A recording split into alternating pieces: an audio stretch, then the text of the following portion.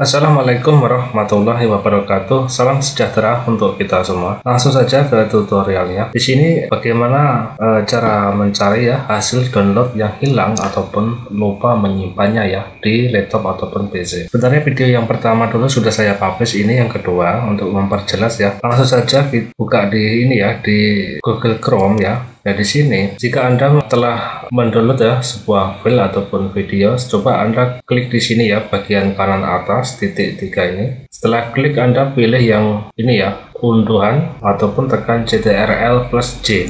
Nah di sini jika ada download pasti sudah ada di sini ya. Coba ini sudah hilang. Coba saya akan buka yang satunya di sini ya. Ini sebagai contoh, klik yang ya ini ya, klik unduhan. Di sini jika banyak, maka pastikan Anda pilih file mana yang dulu pernah Anda download ya. Jika lupa, Anda langsung di sini klik ya di folder ya, masuk di penyimpanan laptop. Di sini Anda pilih yang bagian download ya, di download di drive download di sini banyak sekali penyimpanan ataupun riwayat-riwayat file-file yang telah Anda download. Nah, di sini jika Anda lupa namanya filenya, silakan Anda ingat tanggalnya tanggal berapa ya. Di sini klik di data mode device ya di sini ya. Di sini klik mode device. Nah, di sini tanggal berapa? Misalnya Anda ingatnya tanggal 1 kemarin, maka, maka di sini akan muncul ya file-file yang Anda download pada tanggal 1. Begitu juga pilih tanggal lainnya. Nah, seperti ini ya, tanggal 4. Itu cara memilih file ya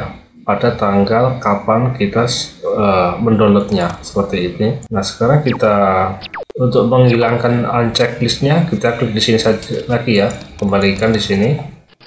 Maka akan tampil semua riwayat file-file yang Anda download.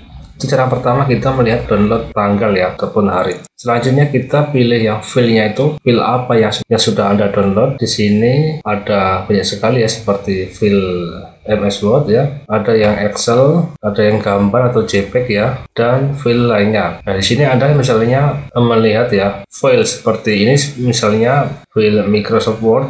Di sini Anda pilih ya tipenya ya, tipe.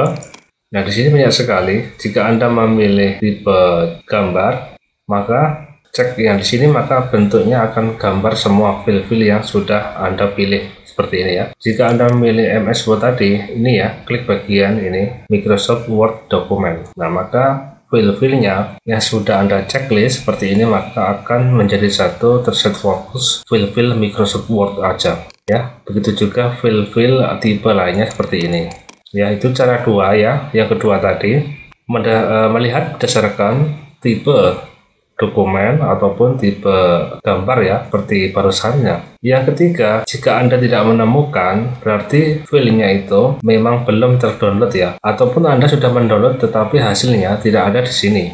Kenapa? Karena di sini terlalu numpuk ya ataupun file drive download ini sudah penuh. Syaratnya Anda harus menghapus semua riwayat-riwayat yang sudah drive ini yang sudah terisi file-file download ya. Langsung aja tekan CTRL ya plus A seperti ini Anda Anda hapus ya delete dipastikan sebelum Anda mendelete ataupun menghapus file-file yang Anda download sebelumnya yang merasa penting sebelum Anda menyimpan atau memindahkan Anda pindahkan dahulu ya seperti itu. Setelah terhapus semua di drive download Anda langsung mulai lagi mendownload file yang ingin Anda download ya. Lakukan seperti download biasa. Setelah berhasil di sini ya unduhan maka di sini ada akan riwayat pendownloadan atau download file itu akan sukses ya. Setelah itu klik Anda bagian langsung buka di sini ya. Biasanya berhasil di uh, di pojok kiri bawah ini langsung Anda buka. Kalau tidak Anda langsung masuk ke folder drive download tadi ya.